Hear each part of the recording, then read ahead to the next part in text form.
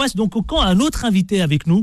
Il s'appelle Adèle Amara. Bonjour Adèle Amara. Bonjour. Bonjour. Merci d'être avec nous ce matin. Merci vous à êtes vous le candidat de Villiers-sur-Marne. Et Villiers-sur-Marne, c'est une ville qui fait parler d'elle parce que ces derniers jours, tous les médias, les confrères, les consoeurs d'ailleurs, ont beaucoup parlé de cette ville puisque, paraît-il, un élu LR pris en flagrant délit de clientélisme dans une mosquée.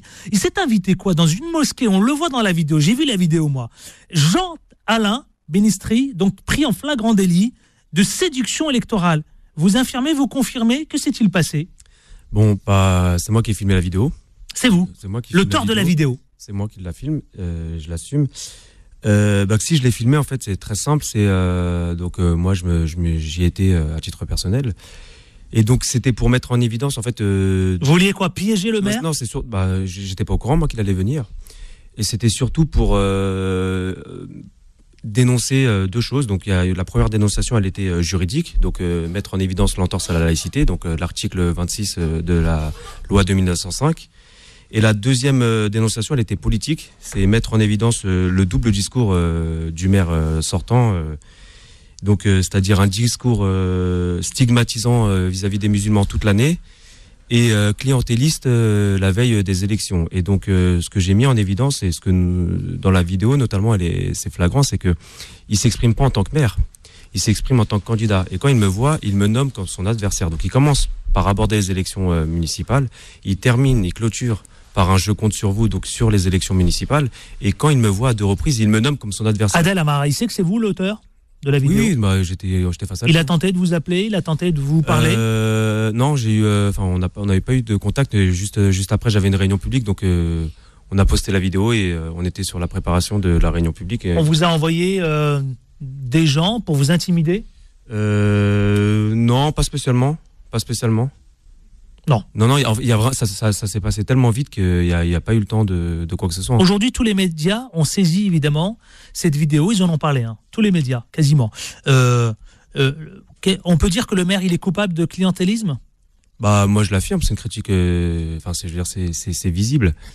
Je veux dire la, la vidéo elle est elle est édifiante. Après c'est vrai que bon pour moi les choses elles sont actées, les médias ils s'en saisissent. C'est juste mettre en évidence que le communautarisme que le, le, le, le- il n'est il est- il pas entretenu par les personnes. Il est souvent entretenu par les personnes qui la dénoncent et pas par les personnes euh, qu'on a tendance à, à stigmatiser. Mais pour, pour, pour rien vous cacher, a dit, je souhaiterais totalement qu'on, enfin, pour moi, les choses, elles sont actées, on passe à autre chose et, euh, Mais vous avez raison, voilà, vous êtes aussi là pour ça, Adèle Amara. que- Adèle Amara, vous dites dans votre programme 10 propositions phares. 10 propositions phares pour Villiers-sur-Marne. Vous avez toute une équipe à l'image donc de Villiers-sur-Marne. Vous dites faisons le choix de la relève citoyenne. Ça veut dire quoi? Alors euh, nous, en fait, on, part d'un constat donc euh, que euh, on a dépassé en fait le, cap de l'indignation. On est dans une phase de proposition. Donc souvent, on a tendance à être déçu des politiques, mais euh, chacun râle de son côté. Donc on s'est dit, bah on va on va proposer, on va réfléchir sur un programme, et puis de fil en aiguille, bah, on, a abouti à, présenter une liste donc citoyenne. Quand j'entends liste citoyenne, c'est-à-dire qu'elle est donc la tête de liste qui est moi-même. je je ne suis pas encarté. Euh, le financement, il est totalement euh, indépendant. Et, euh, donc, on n'est piloté par aucun parti, on a aucune, on reçoit aucune consigne de qui que ce soit, et puis on est vraiment, et les propositions, elles, partent de la base. C'est-à-dire qu'on a lancé une consultation en ligne sur le site internet qui a récolté plus de 300 euh, propositions. On a mené huit réunions, sept réunions participatives où les citoyens venaient, ils posaient leurs propositions, et euh, on a renié aussi des, ce qu'on appelait des comi- comités d'experts, c'est-à-dire qu'on s'appuyait sur des élus euh, d'autres villes ou des adjoints ou des, ex- des, euh, des techniciens pour qui nous offrent leur, leur, leur, leur avis, leur, leurs expertises. Et donc de, de cela, de, de, de- tout ce travail-là a émergé donc sans proposition que vous retrouvez sur le site euh, VAV 84. Qui sont très clairs d'ailleurs, j'ai été vu, Voilà. effectivement. Et nous, l'idée, c'est, enfin, nous, ce qu'on apporte en plus par rapport aux autres, c'est qu'on est déjà dans le comment. C'est-à-dire que tous les candidats dans leur programme, on, s'aperçoit que c'est plus des incantations creuses. On va euh, rétablir la sécurité, on va assainir les finances, on va euh, euh, redynamiser la jeunesse. Mais nous, on est déjà dans le comment. C'est-à-dire comment on rétablit la sécurité, comment on, on euh, euh, ramène des médecins. Donc, euh, comme vous avez vu, les propositions, elles sont super claires. Par exemple, nous, on propose un centre de santé et on sait qu'il y a une, il y a une crise euh, au niveau des médecins. Bah, nous, on propose de recruter directement les médecins. Quatre médecins seront recrutés directement par la ville. C'est budgétisé et c'est du concret. C'est-à-dire que nous, dès qu'on arrive aux commandes, il y a quatre médecins en plus dans la ville.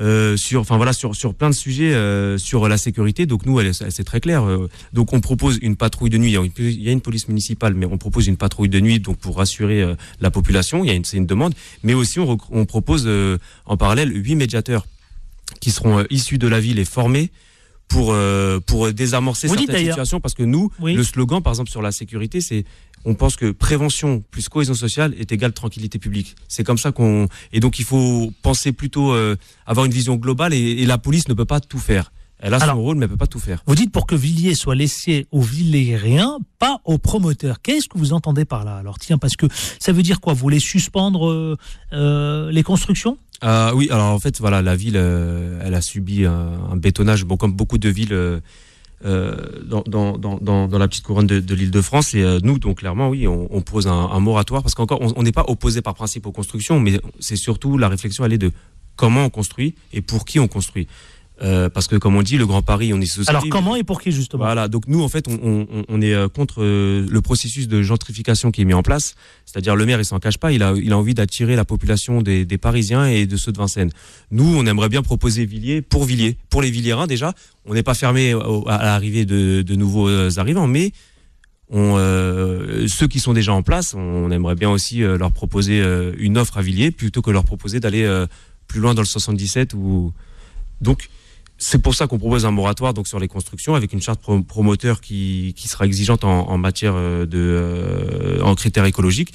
Et derrière euh, on propose aussi donc une commission en fait pure plan euh, donc euh, planification d'urgence à la résilience écologique. Donc pour avoir une réflexion beaucoup plus globale sur euh, sur l'écologique donc qui touche notamment le transport qui touche euh, l'alimentation Si vous êtes élu, qu'est-ce que quelle, serait euh, évidemment euh, parmi les dix propositions phares celle qui retiendrait votre attention tout de suite maintenant? Bah, c'est celle que je viens de vous exposer là, le, le- la commission de planification de la résilience Planification. écologique, parce que euh, donc elle, elle, elle- est transversale et c'est vraiment là la, la crise écologique, elle est, elle est vraiment, euh, elle est vraiment euh, pressante. Donc c'est important Adèle. d'agir tout de suite. Oui. Adèle Amara, en quelques en 10 secondes. Qu'est-ce que vous avez envie de dire à celles et ceux qui vous écoutent sur la ville de Villiers-sur-Marne?